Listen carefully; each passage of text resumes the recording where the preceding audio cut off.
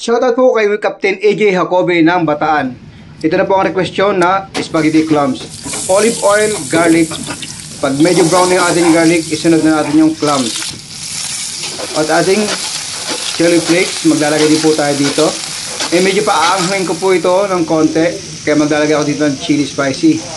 Kasi request po ito na medyo maanghang daw gusto niya ng ating kakain. Mag-add tayo ng salt. Ayan. Parsley, optional. Pwedeng wala, pwedeng meron. So, ang magiging sauce natin dito, ito yung pinaka sauce natin, olive oil, ito yung pinakang white, yung white wine. Ayan. Pwede rin walang white wine, pero mas maganda kung meron. Kasi ito yung standard Italian style. So, ipiprepare natin yung pasta na. Maglalagay tayo, siyempre, ng salt sa ating tubig, yung pakukulan. And diretso na natin, pag after 8 to 10 minutes, ang spaghetti ay luto na. Direct na natin sa sauce kasi isa-serve naman to eh. Yan. Mix lang natin. Then, pagka mix natin, pwede natin i-plating. Then, i-serve na. Yan. Ito na ang ating result.